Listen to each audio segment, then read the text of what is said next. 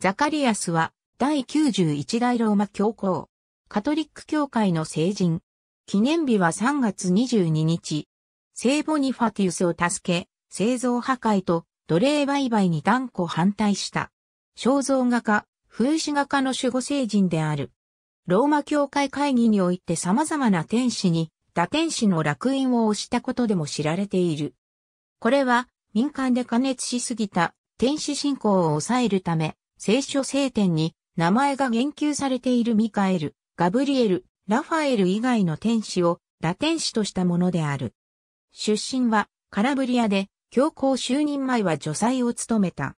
741年11月28日に先代のグレゴリウス3世が死去したため、12月3日に教皇に選出された。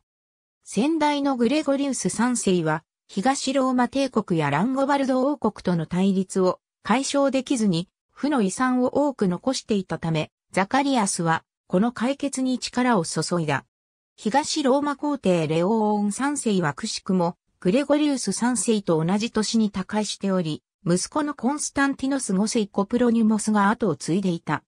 ザカリアスは、父ミカドと同じ製造破壊運動を支持していた、コンスタンティノス5世と巧みに交渉して和睦した。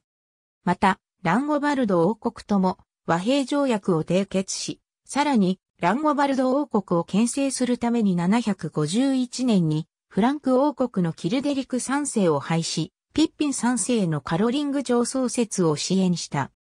この時、力なき者が王であるより、力ある者が王であるべきとして、ピッピン3世を強く支持したという。こうして、教皇とフランク王は、友好関係を結ぶことになった。